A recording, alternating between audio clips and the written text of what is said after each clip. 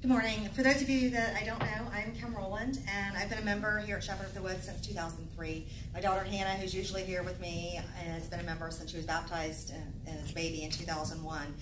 So we're very connected to this church, and I was asked this morning to speak on the two core principles of the church, which are one, that the witness of the church is to all people, and the second is that as the body of Christ, we care for all people.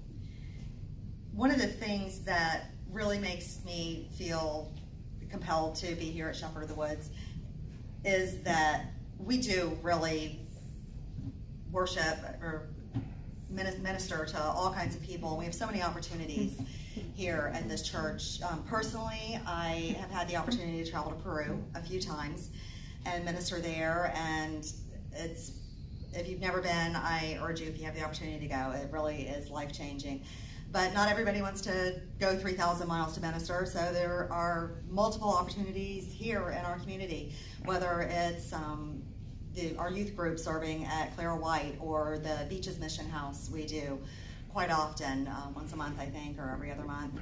Um, Pastor mentioned the prayer quilts in the back of the church. That's ministering to people in the community who are ill and letting them know that we care for them. There's a quote that Pastor Johnson says quite often, and I love it, it's from St. Francis of Assisi, and it's preach the gospel at all times, and if necessary, use words. And a lot of people aren't really comfortable talking about the gospel or, or talking about God's love to other people, but you, you don't have to use words to do that. You can just show the love of Christ, and that's what we do in Peru.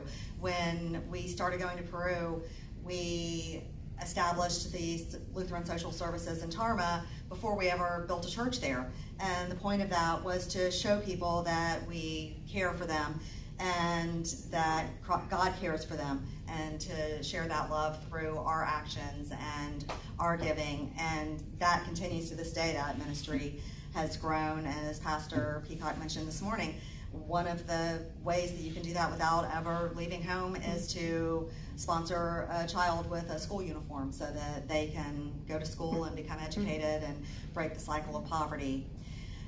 Um, some of the other things that we have done, we have for many years sponsored a meal for the migrant workers in the Hastings area. That's a ministry that's near and dear to me. I grew up in the area. My family were farmers, and I, I grew up as a child in high school. I had the opportunity to go with one of the sisters to a migrant ministry. So um, I actually brought that to the church, and we started cooking and serving a meal to people in that area once a year, which a lot of you have helped with that and, and gone and been able to experience that. You can cut quilt squares or sew quilts if that's your gift. Um, you, you don't have to leave. You don't have to do big things and go out in the world and do mission trips or go to Africa or Haiti or anything. If you look at your pink ministry insert, there are ways every week that you can share the love of Christ, whether it's teaching Sunday school. I'm sure Angie would um, encourage you. I, I've been able to do that for quite a few years and you know, sharing the love of Christ with the kids in our congregation and with their parents by you know, allowing them the time to listen to the sermon.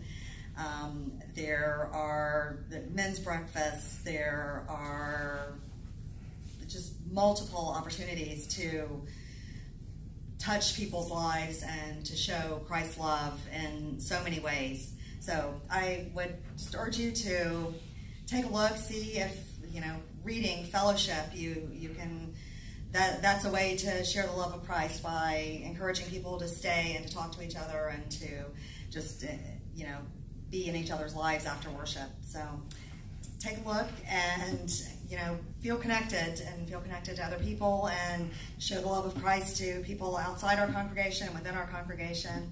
And if you know that's something that you want to do, there are always always ways to do that here at Shepherd of the Woods. Thank you.